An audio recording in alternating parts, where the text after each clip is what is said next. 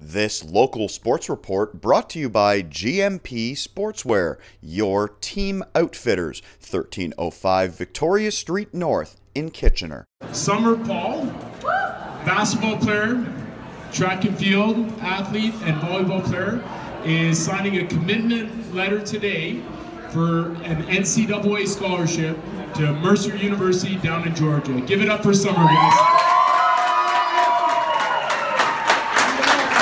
It was a special day for Summer Pahl, a 17 year old basketball player at St. Mary's High School in Kitchener. Pahl officially signed with the Mercer University Bears in front of family and friends on Wednesday morning.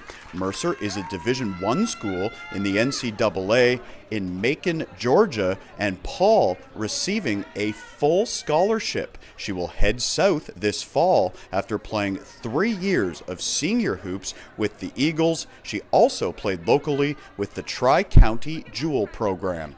I was kind of shaking a little bit as I was signing. Like, it's a little bit overwhelming, but I'm so glad that I have all the support from my peers and my teachers and coaches. The heat is going to be, like I said, like a challenge, but also a beautiful thing. So I'm really excited for that. And just like the scenery at Mercer is just so different. I'm excited for like a new chapter in my life, and that's what Mercer's going to give.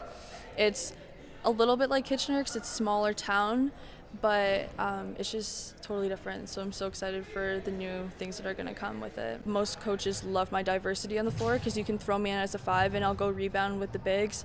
And you can put me in as a guard and I'll help them break a press and really create. So that's what I love about playing basketball. Proud of her. Um, I've seen her grow. I mean, I've only known her the last two years, uh, but I've, I've really seen, seen her grow as a person, um, as a teammate, as a leader on the team. Uh, so it's been nice to see that progress for her, and, and, I'm just happy for her. I think she'll be, she'll have fun down there. She uh, she'll do great, and uh, I'm uh, I'm looking forward to see her represent our uh, our school and our country down south.